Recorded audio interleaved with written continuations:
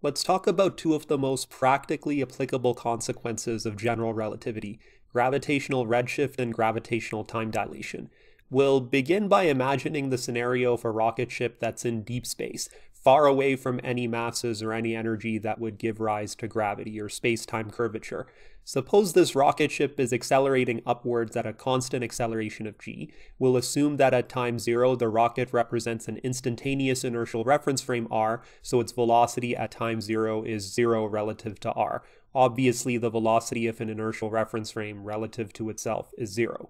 Let's say that this rocket ship has a source at the bottom which fires an electromagnetic wave at an angular frequency omega naught relative to r. We'll also suppose that there's an observer at the top of this rocket ship located a distance h above the source who's going to receive these wave signals from the source.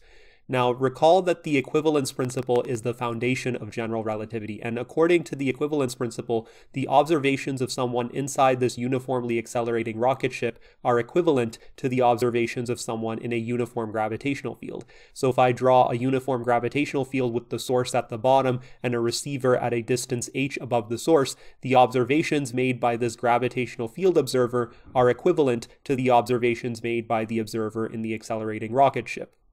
This means if I analyze the frequency change measured by my rocket observer for the electromagnetic wave, that analysis will also hold true for the observer in the uniform gravitational field. That's the equivalence principle. So let's derive the equation for gravitational redshift by looking at this first scenario, the scenario of the accelerating rocket. Again, in this scenario, which I'll copy paste here, we have a source emitting electromagnetic waves at a frequency omega naught according to that source. The speed of those waves is the speed of light c, so the time it takes for that wave to reach my observer is t1, which is just h over c. Now, in actual fact, the time t1 is slightly higher than h over c because by that moment in time, the observer has actually moved up an additional distance of half gt1 squared. However, we're going to assume that this half gt1 squared distance is very small compared to h over c, and that it makes no difference because light travels so quickly that the receiving observer barely has any time to move up before the wave has already reached him.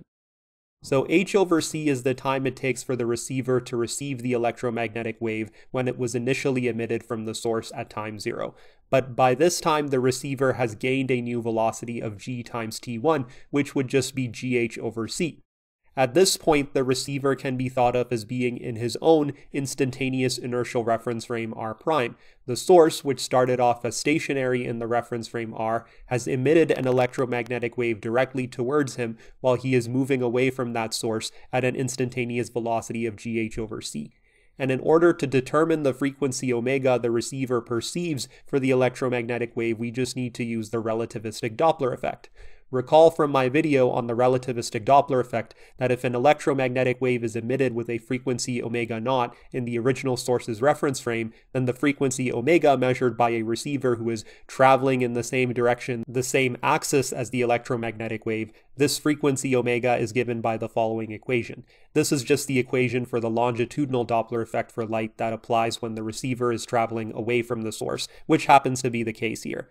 My source started off at rest in the instantaneous reference frame R, and by the time my light or EM wave reaches the receiver, the receiver is moving away from the source at a relative velocity v, which in this case is gh over c. If I now Taylor expand the square root term around v equals 0, this is what I'll get.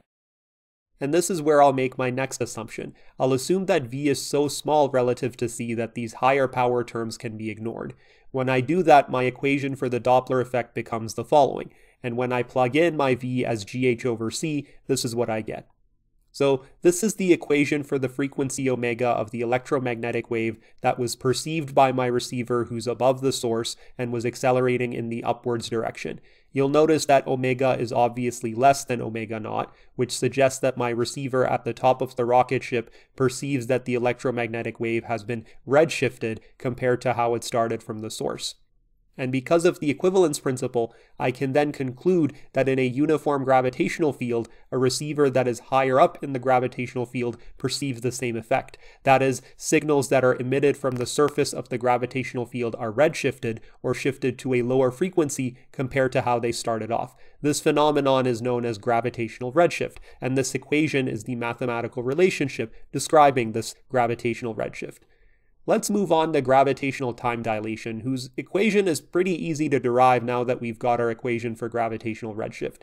If we take our gravitational redshift equation and write our angular frequencies in terms of the corresponding period of the wave, capital T and capital T naught respectively, then this is what we get. If I rearrange things in this equation and write everything in terms of capital T, this will be my answer. So the time interval between two events, in this case, between two successive peaks of the electromagnetic wave, so the period of that wave, that time interval is dilated as we move higher in the gravitational field. This is the effect of gravitational time dilation. I'll call this equation 1. Again, gravitational time dilation means that a clock that might tick 5 seconds on the surface of a gravitational field is slower compared to a clock higher up in the gravitational field, which might tick by more than 5 seconds. That is, when we go further away from a gravitational field, clocks run faster. And this principle doesn't just apply to signals of a wave, it applies to any two events. So if you have someone on Earth that's aged by 10 years, that person's twin who's just sitting far away in deep space will have aged by slightly more than 10 years because of gravitational time dilation. Similarly, your head has aged slightly more than your foot because of gravitational time dilation. Granted, the effect is really small because if you're 1.75 meters, for instance, then in Earth's gravitational field, this factor in the denominator is really close to 1, but the effect is still there nonetheless.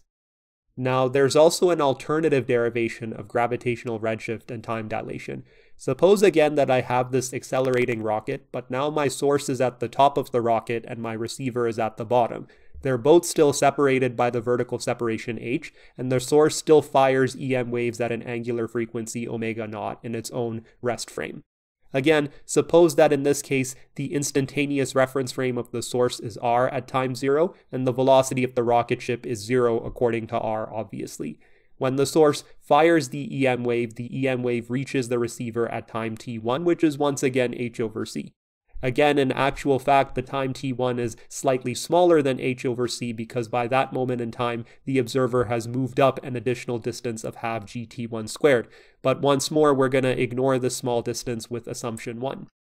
But by this time, the receiver has gained a new velocity of g times t1, which would just be gh over c again. At this point, the receiver is now in his own instantaneous inertial reference frame r prime. The source, which started off as stationary in the reference frame r, has emitted an electromagnetic wave directly towards him while he is moving towards that source at an instantaneous velocity of gh over c. And in order to determine the frequency omega the receiver perceives for the electromagnetic wave, we once again use the relativistic Doppler effect. This time, however, we use the Doppler effect for an EM wave that's traveling in the opposite direction as my receiver. So my receiver is traveling in the same axis as the wave, but towards it, not running away from it. In this case, the equation for the longitudinal Doppler effect is as follows. If I now Taylor expand the square root term around v equals 0, this is what I get. Again, I'll use assumption 2 to ignore higher power terms involving v, and when I do that, my equation for the Doppler effect becomes the following and when I plug in my V as GH over C, this is what I get. Now, this time when my receiver is at the bottom and source is at the top, the frequency of the EM wave perceived by my receiver is greater than omega naught, which suggests that my receiver at the bottom of the rocket ship perceives that the electromagnetic wave has been blue shifted compared to how it started from the source. And because of the equivalence principle, I can then conclude that in a uniform gravitational field, a receiver that is lower down in the gravitational field perceives the same effect. That is, signals that are emitted from higher up are blue shifted or shifted to a higher frequency compared to how they started off. This is another equation for gravitational redshift, or blue shift in this case. And then by a similar logic, the equation for gravitational time dilation becomes the following, where capital T is the time interval perceived by my receiver who's lower down, and capital T naught is the time interval perceived by someone who's higher up. This is just another way of expressing gravitational time dilation. I'll call this equation 2. Now, the issue here is that equations 1 and 2 kind of contradict each other. Let me explain. Suppose that I have a uniform gravitational field and I've got someone on the ground and someone up here, a distance h above the ground. If my ground observer A has time ta elapse on his clock, then an observer B who's above A will have a corresponding time tb elapse on his clock. According to equation 1, tb is related to ta by the following.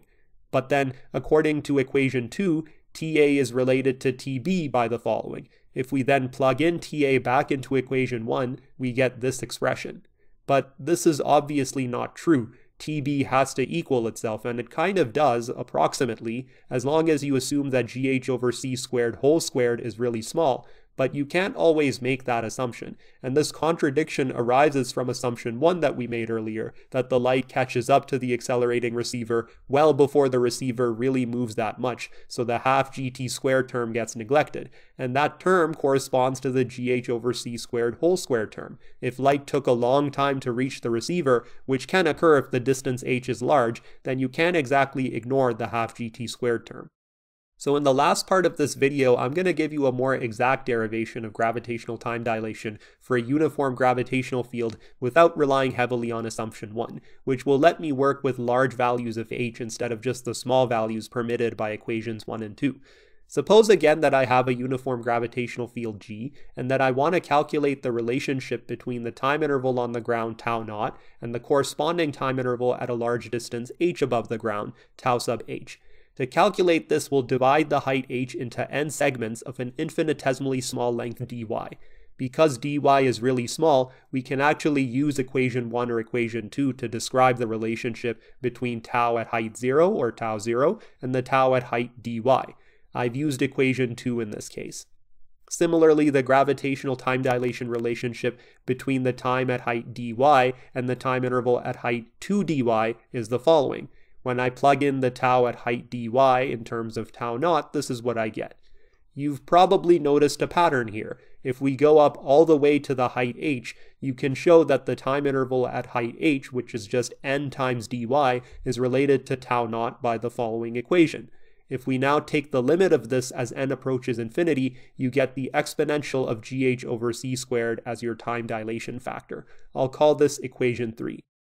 Now, even if I used equation 1 in my derivation, where my tau at dy would be related to tau naught by this expression, I would still get the same answer in the end with my limit.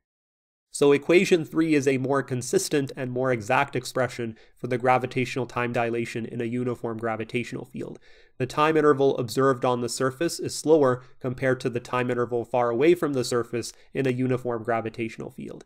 Now, actual gravitational fields or space-time configurations, remember gravity is the curvature of space-time, aren't uniform, so they have their own separate equations for gravitational time dilation. But we'll get to those equations when we talk about the solutions to the Einstein field equations, and introducing the Einstein field equations will be a topic for the next video. I'd like to thank the following patrons for their support, and if you enjoyed the lesson, feel free to like and subscribe. This is the Faculty of Khan, signing out.